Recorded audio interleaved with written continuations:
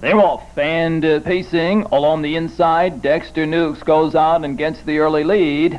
Up on the outside, Top Notcher gets away second. Along the inside, Lindy Hop third.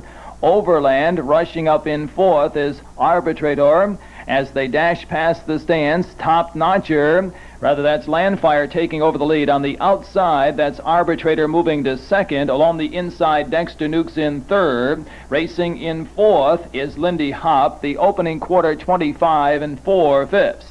They swing around the turn, and it is Landfire cutting out the mile. Outside, second is Arbitrator. Along the inside, Dexter Nukes boxed in third. Then comes Lindy Hop in fourth. Racing fifth is Mr. Mallory. Sixth is Pilgrim's Patriot. Seventh is Top Notcher. Along the inside, Race Me Sandy, and on the outside, Deer Valley. They pass the half in 55 flat. Down the back stretch.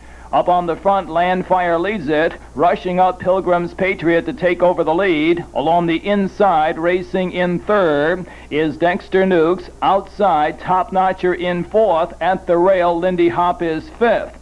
Approaching the far turn in the three quarters on the outside, Pilgrim's Patriot. Along the inside, Land Fire. Up on the outside now is Dexter Nukes third. At the rail, Lindy Hop is fourth. They're by three quarters in 123 and four fifths.